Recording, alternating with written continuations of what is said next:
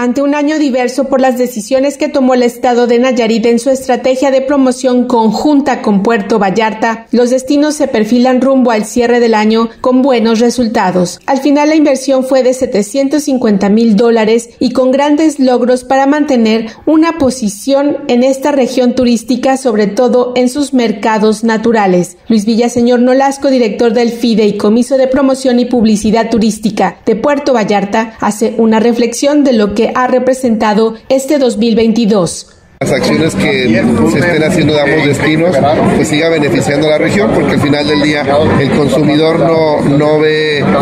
no ve dos estados, ve una bahía y, y, la decisión del viaje está determinada por presupuesto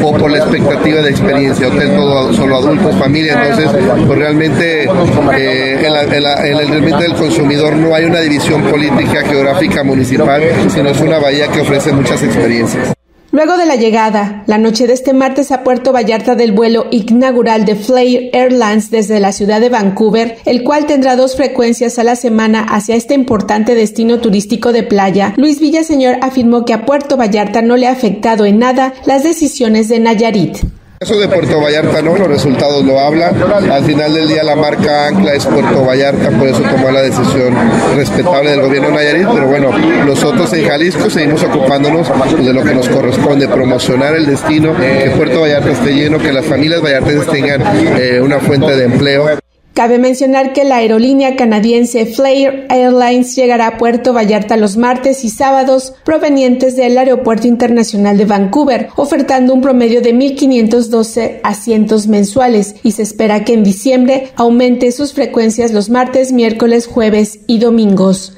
Desde Radio UDG en Puerto Vallarta para Canal 44, Noemí Zamora Reynoso.